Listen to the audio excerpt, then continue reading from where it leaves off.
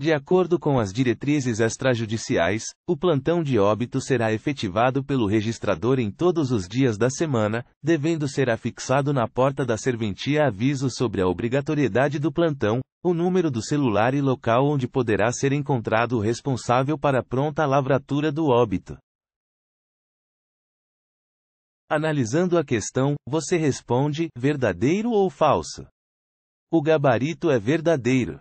Artigo 617, parágrafo 3.